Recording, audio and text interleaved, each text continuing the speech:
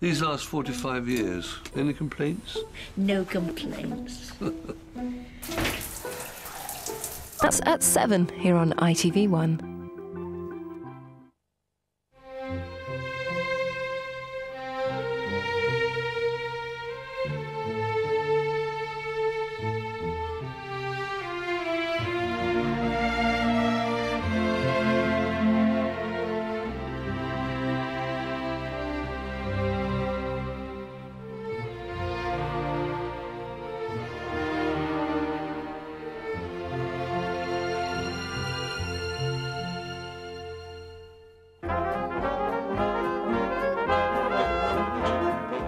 In the 20s and 30s, travel and transport in Cambridge revolved around one particular company.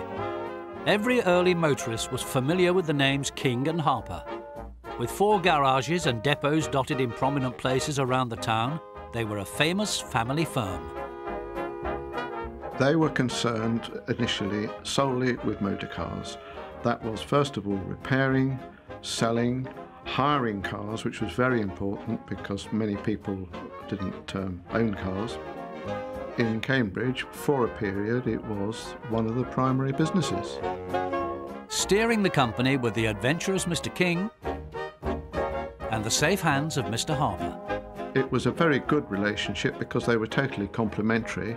Billy King was the man that pushed the business forward, and I suppose Harold Harper was the man that kept it on the rails. It was Richard's father, Alfred, who managed the Standard House garage on Milton Road. Here, the driver could fill up with oil and petrol.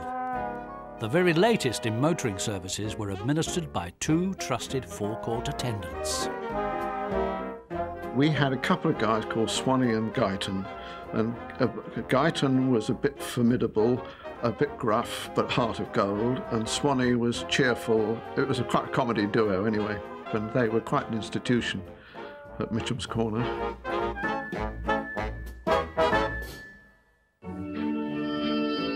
King and Harper employed a 250-strong workforce of engineers, mechanics, salesmen and administrative staff.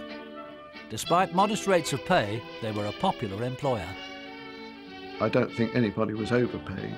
But having said that, I think they were all quite proud to be working for what was quite an efficient firm.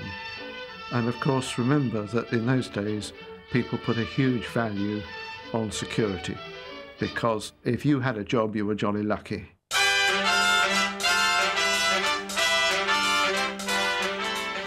At the outbreak of hostilities in 1939, the company put all its efforts into war work. The King and Harper workshops and the skills of the workforce were put to good use by the armed forces. One of the managers running the show was Richard's father.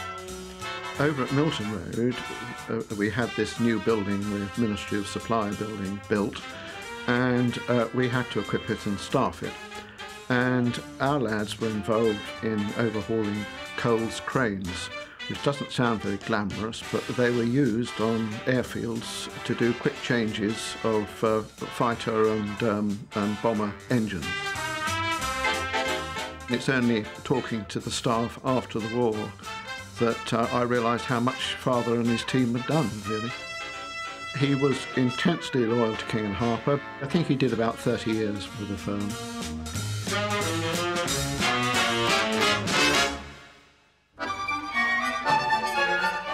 When Richard joined his father at the firm, it was much more than a garage. King and Harper had diversified.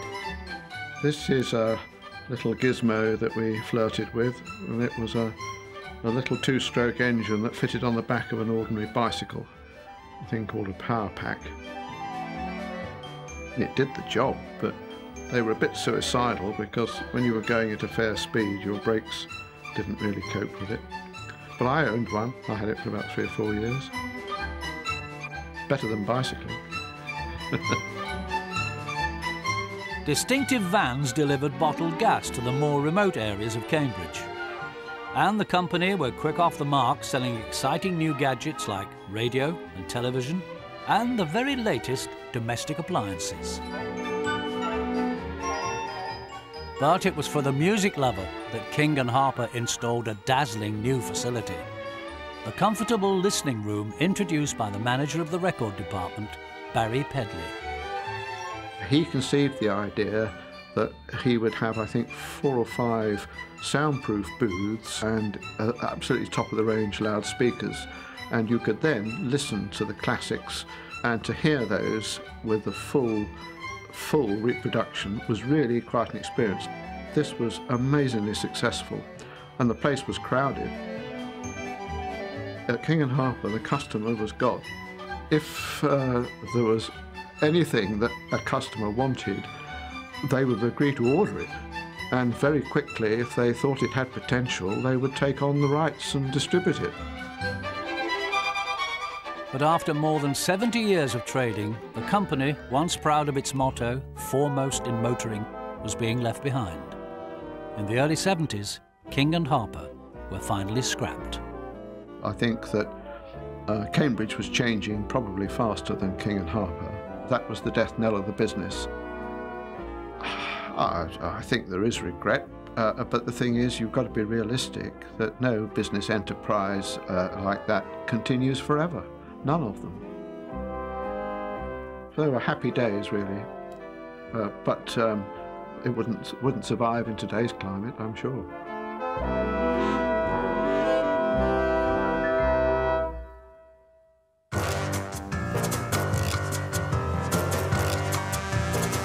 It's 1962, and this is the new season's fashionable footwear from Bata, the major shoe manufacturing company based in Tilbury, Essex. This fashion parade film was the work of one of the company's employees, Charlie Harson, a specialist in window displays. Once I started dressing windows, I fell in love with it. I started as a window dresser salesman, never thinking that I would end up advertising and display manager.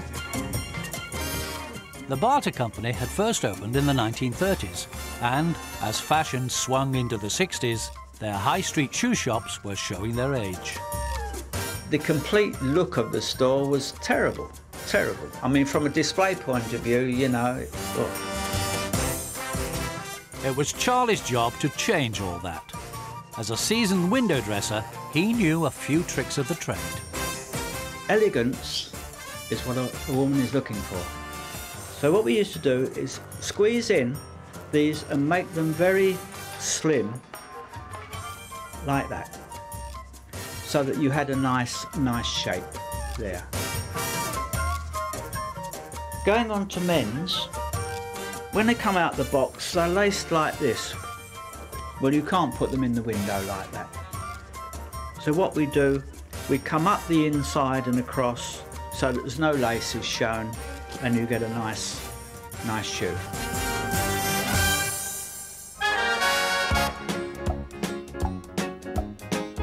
In 1963, Bata were rebranding some of their smaller shops. And in Petts Wood near Bromley in South London, the old Bata was being refreshed with a new name new livery and a new logo. Bata was being reborn as Kelvin. Although Charlie was there to design and dress the new windows, he brought his cine camera along to witness the transformation as Kelvin was kitted out. But Charlie wasn't the only one keeping a record of this retail revival. We had uh, a company uh, photographer and uh, he would take the interiors and the windows outside and also a staff photograph and this would go in our magazine the retail news uh, to publicise uh, more stores uh, opening.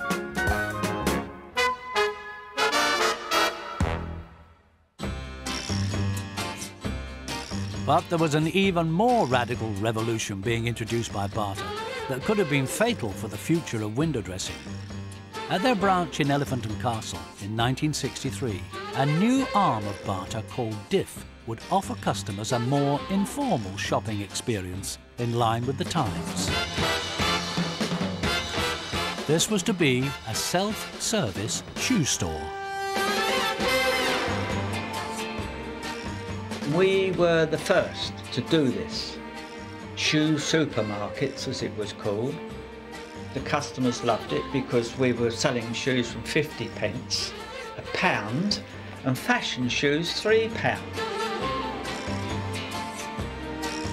On the opening day, um, the queues were completely round the length of the shop and further. We had so many people in the store that the manager had to close the store uh, in order to get the first lot of people out and, and get a fresh lot in. Very exciting. Self-service meant fewer sales assistants, and with racks replacing windows, it was a backward step for the art of the window dresser. Still had a job because we had to place the shoes out, but I mean, it wasn't a very interesting job. But that didn't last long, thank God. Charlie joined the firm in 1948 and stayed there. Having clocked up 39 years with Bata, he finally retired in 1987. An excellent company to work for. When you joined it, you knew that you had a job for life. And I did. And you don't think about it at the time, but when you've retired and you look back, you think, what a wonderful time it was. And you'd like to do it now, you know. But there you go, you get old and that's it.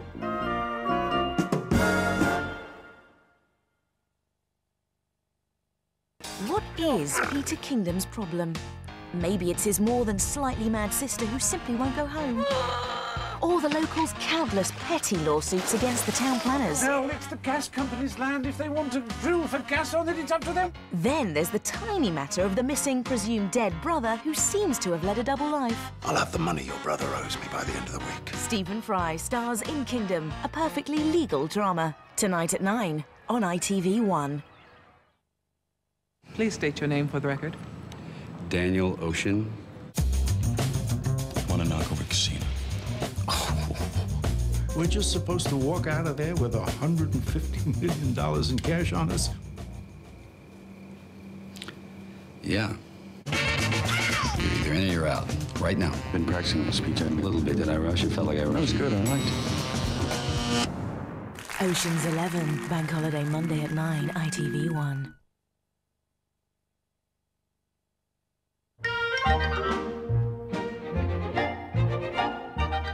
It was the abundance of clay in the soil that provided the raw material for a thriving family business. G.A. Tuck & Sons were one of the largest producers of handmade earthenware pots in the 30s and 40s. Among the 20 or so employees at the factory at Upshire in Essex was Edward Greenall. A painter and decorator by trade, in the Depression, he'd been glad of work at Tuck's. My father was a clay digger, and um, believe it or not, this was a very skilled job digging clay. At, um, you had what they called a grafter, very much similar to a small shovel. So you took it out in spits. Basically, how they used to dig their gardens years ago when they had allotments.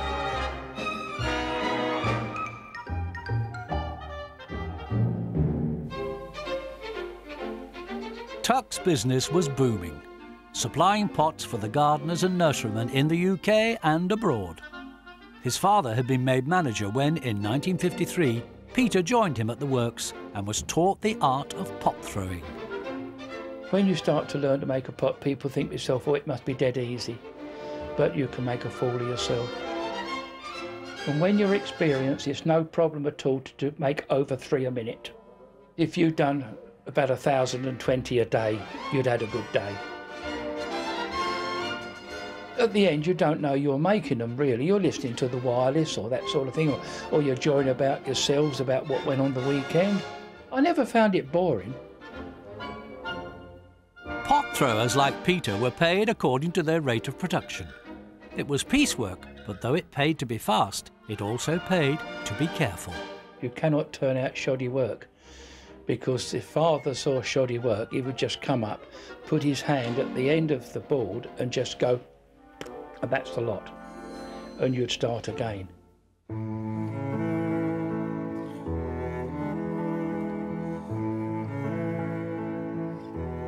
There are two films about Tuck's housed in the archives. This one, made in the early days of the company, Peter has never seen. So, after more than 50 years, he's got his first chance to see some familiar faces from the past. That would be Harry Thompson. You see, boy, he's got his fag on, puts it on his bench. See how quick he trews it up? Because the clay's lovely and soft. Down he goes. He's now putting his hand in. He brings it up with his forefinger and thumb. And he's on full speed now. He was the best thrower we had there. He made all the large pots by, uh, by hand, and I used to turn the wheel for him. He was a real craftsman. These are people that I knew. It's marvellous. The film doesn't only show some of his old workmates. Miraculously, it also features another figure from much closer to home. There's Cooper Evans right at the front, and he's placing them into a barrow to take down to the yard. And the man right up at the end looking to us there is my father. Yes, it is. I'm sure it is. In the doorway of the kiln, look. Brilliant. What's it?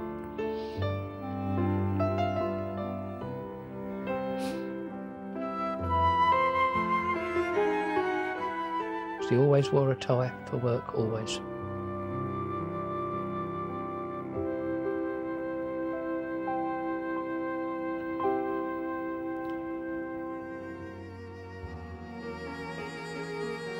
While working at the pottery, Peter was courting Joan.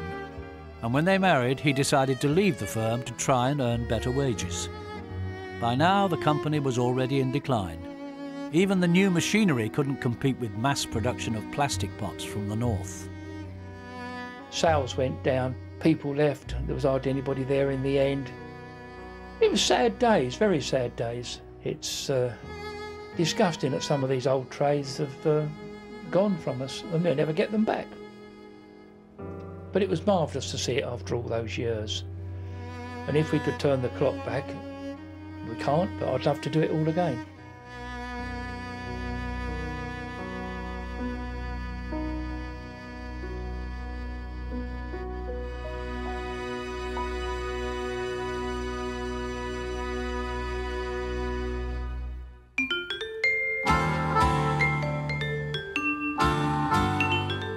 For over 65 years, the 30 acre Eastern Coachworks factory in Lowestoft was a landmark in the county. From the drawing board to the finishing touches, nearly every bit of the bus was built here in the workshops at Eastern Way. ECW was a major employer for generations of local skilled men and women. Well, just like a family.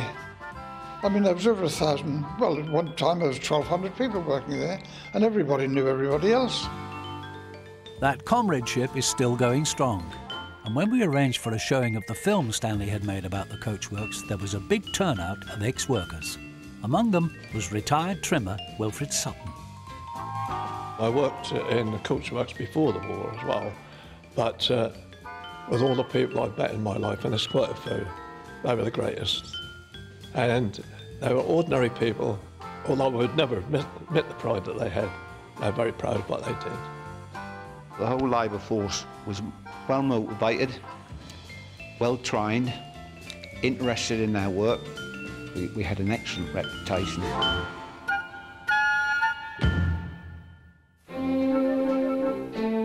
Buses were built on a production line with each gang of workers performing a specific job. When Keith Lewis started in the body shop in the 40s, working conditions were pretty basic. If you worked on a double deck and you had to get up to the roof, you had a 15 foot trestle with a plank the whole length of the body, and you actually worked on that, no hands holding on, and that would bounce up and down, and you'd be working up and down, bouncing with it. and sometimes the planks would collapse, they'd just collapse, and you'd be hanging on the waist rail, top deck, hanging on with your hands. It took 10 to 12 days to complete an entire bus. And in the old days, it was all hands on deck in the body shop to assemble the main panels, internal floors, and the roof. The manual lifting was labour intensive. There would be a, a command. When you lifted a side or an intermediate roof ply, are you ready, lads? Hay up, and that would be that. But the heavy work done by Albert and his gang was to change. When the company became part of British Leyland in the 70s, a new gantry was installed which eliminated the need for so many men and so much muscle.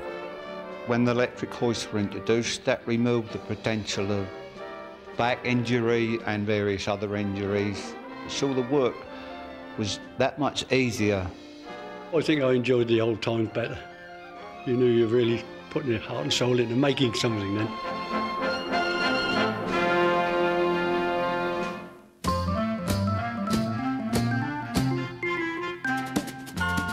But they weren't all good old days in the department that fitted the upholstery. The work of the trimmer meant holding tacks in the mouth. Electrician and trade union representative Gerald Vincent remembers the struggle involved in trying to improve working practices. We had a dispute at the company because it was such a terrible thing with these iron tacks all in the mouth. They had ulcers, all sorts of things in them. And we strove so hard to get rivet guns. But we eventually got the staple guns. They're much better, much better. Except I stapled my knuckle together once when I, the staple gun went off and pin went in there. But uh, that was all right. Up to 18 top quality vehicles a week left the workshops. And in their heyday, Eastern Coachworks had a full order book, high productivity, and optimism for the future. When you saw a job going out the front finishing shop, all sparkly, chrome finished, excellent paintwork, you had work satisfaction and pride in your job.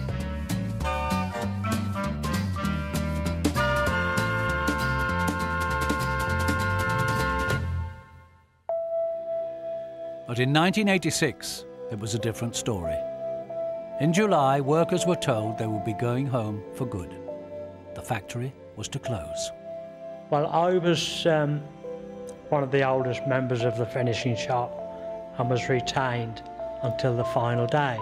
And uh, eventually, the last vehicle was prepared for delivery, and uh, quite a few people turned up, and uh, we all said goodbye to the last vehicle. We all felt rather down in the mouth, so to speak. The building stood empty for several weeks. Uh, vandals moved in and a lot of the glass windows were smashed. And then eventually the bulldozers moved in and the place was demolished. To see it flat was such a sad day.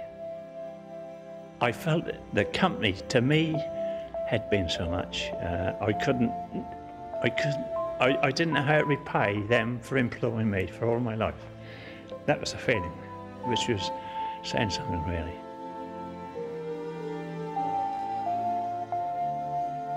It was a blow. It was a blow to the town. So many people worked there, spent their lives there, and uh, it was a, another important industry in Lowestoft that had gone for good.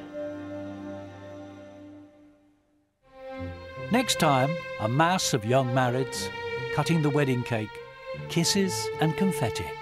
It's love and marriage in the way we were.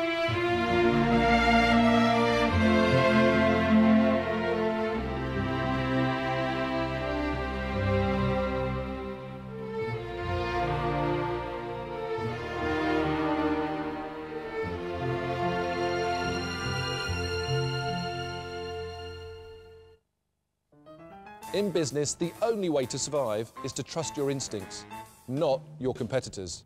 With passion, determination, and some good advice, you'll not just survive, you'll thrive. Tycoon, coming soon to ITV1.